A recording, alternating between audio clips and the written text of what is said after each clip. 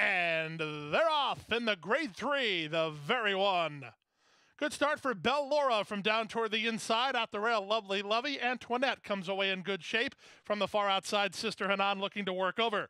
Bacchanalia has the same idea. They race ahead of Tuned and Heavenly Curlin.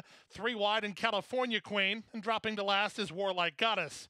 Past the wire the first time, Antoinette tugging on Jose Ortiz and up for a narrow advantage. Down at the rail, it's Belle Laura. Out three wide, Sister Hanan.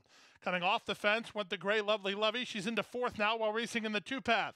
Bacchanalia spun out three wide ahead of Tuned, then California Queen. Unhurried at the back are Heavenly Curlin and Warlike Goddess. The opening quarter was 23 and 4. They exit the turn and straighten out for their journey up the backstretch. Up front, Antoinette in the Godolphin Blue on top a length and a half. Sister Hanan is there second. Edgard Zayas has Belle Laura parked at the rail third. From fourth and Lovely Lovey, then Bacchanalia and Tuned. California Queen still ridden pretty quietly. She's about six or seven lengths behind. Still at the back, Warlike Goddess and Heavenly Curlin. They make their way past the half mile point and swing to the far turn. They went 49 seconds flat for the opening half mile. Antoinette with the fresh legs. She leads by a length and a half. Sister Hanan second. Belle Laura's had a good trip third at the fence.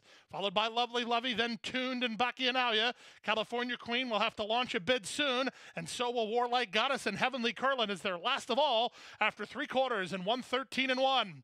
They arrive at the top of the stretch with their ears up. Antoinette has the lead by an X. Sister Hanan is there second. Tuned working into the clear for an opportunity. Belle Laura and California Queen are next as they straighten for the drive. Jose Ortiz trying to get one more furlong from Antoinette. She's responding and leads by two. Sister Hanan is second, tuned on the outside. Belle Laura toward the rail. But the more they asked, the more she gave. Antoinette goes all the way.